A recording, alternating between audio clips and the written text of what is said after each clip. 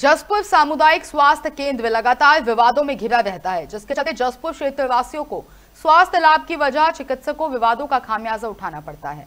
आपको बता दें कि जसपुर सामुदायिक स्वास्थ्य केंद्र में अधीक्षक पद पर तैनात डॉक्टर हितेश शर्मा को मुख्य चिकित्सा अधिकारी को अतिरिक्त प्रभाव देकर पद से हटाया गया था।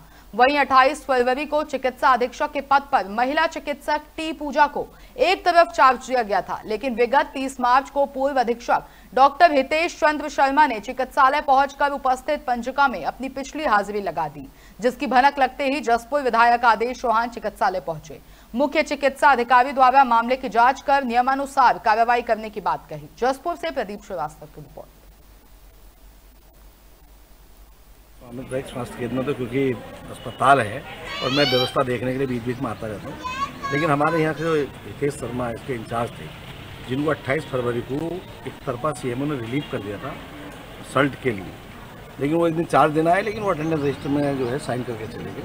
जबकि उनकी लीव या मेडिकल ज़िले से सीएमओ से स्वीकृत होंगे। इस यहाँ के अस्पताल वो अट्ठाईस को रिलीव हो चुके हैं। इस अस्पताल से उनका कोई लेना देना नहीं, क्योंकि वो एक तरफा रिलीव है। तो उन्हें यहाँ साथ देकर जाना तो कोई पता लगे। लेकिन यहाँ के अटेंडेंस रजिस्टर में लिए भी है, छुट्टी लिखना, ये औचित्य नहीं।